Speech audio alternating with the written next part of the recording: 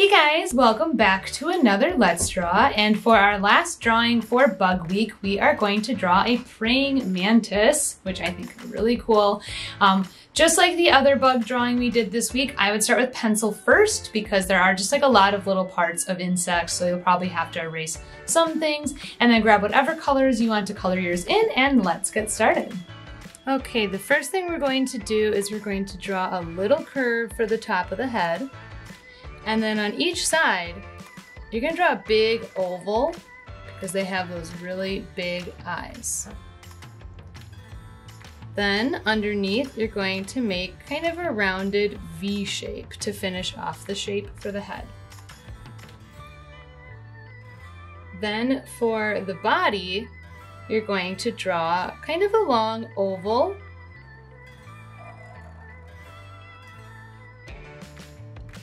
And the rest of the stuff we're about to start drawing, if you do it in marker, the legs are gonna have the lines going through. I'm gonna keep using marker because I know it's easier to see, but I would use pencil. I'm gonna start by having a line that just kind of goes straight out a ways. And then the bottom of this part, it goes down and then kind of turns and comes back and we'll have that be a little rounded. Then starting at this part where it turns, you're going to make a curved line that goes out and then just make a little angled line like that to connect. In this section here, we're gonna do a few curved lines.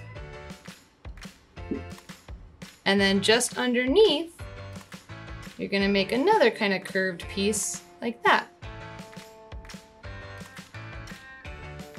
Now we're gonna work on the legs. So again, if you're doing pencil, keep going with pencil because you will have to erase some of this. I'm just gonna have some overlapping lines. And sorry for any extra noises, that's my cats. so right next to this section here, we're gonna draw a curved piece like this. Then we're gonna draw kind of a big upside down V shape. So it goes up and then back down. And I'm also gonna draw the foot. So it's like two kind of curved lines that are pointed at the end. So for this leg here now, now that we did the V, let's make it a little thicker. So I'm just gonna go ahead and make another line like that. And then on this side, another line. So it kind of bumps out and then goes back. These lines inside would get erased out later.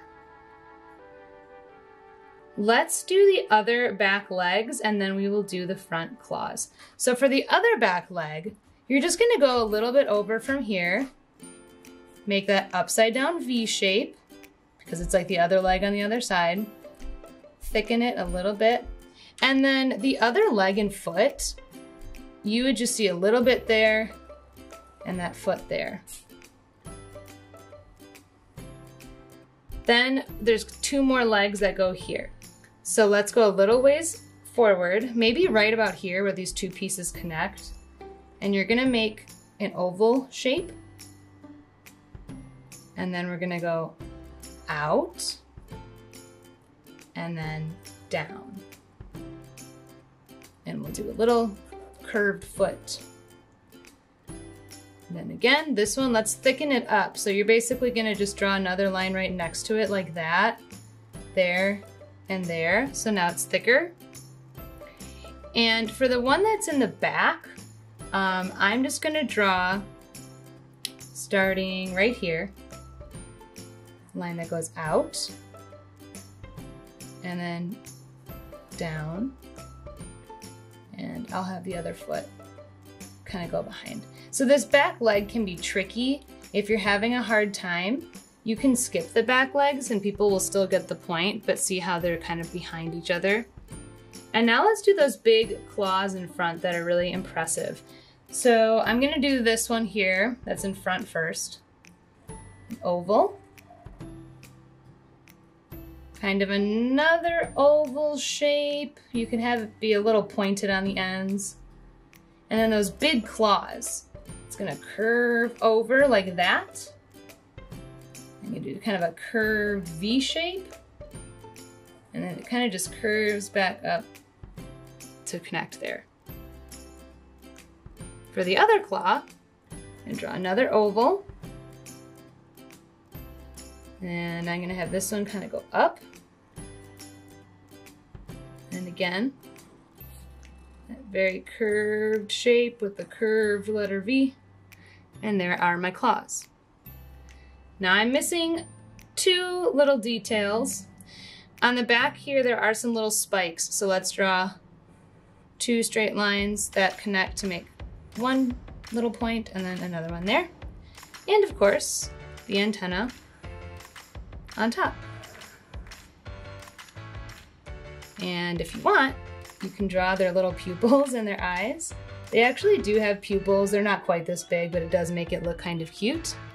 And of course, once you have drawn your um, praying mantis, you can color it in. In real life, they're usually all green, but you can make it any color you want. And here is how I colored mine. So I went with the traditional green, but I did give it some yellow stripes and spots just for fun. You could color yours any way you want, just take your time and have fun. All right, guys, I hope you had fun drawing your praying mantis with me today.